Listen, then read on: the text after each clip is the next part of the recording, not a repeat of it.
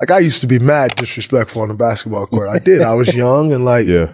sue me. Like I'm sorry. Like to those that I disrespected, I'm sorry. Yeah. Like, but that's what I knew. Like that's how I grew up playing, and like I've learned to not be that way. But like I used to be mad disrespectful on the basketball court. If you think I'm going to go back to that and take that same disrespect and like disrespect my brother, I'm sorry, I can't. Yeah. So if if you think that's like, oh, that's affecting how hard you go, stop it. Like, Yeah. because y'all still complain that I do too much. So make up your mind, right? Like, like you still complain that I mind. do too much. But don't for one second think this is just going to be some disrespect and I'm gonna go out.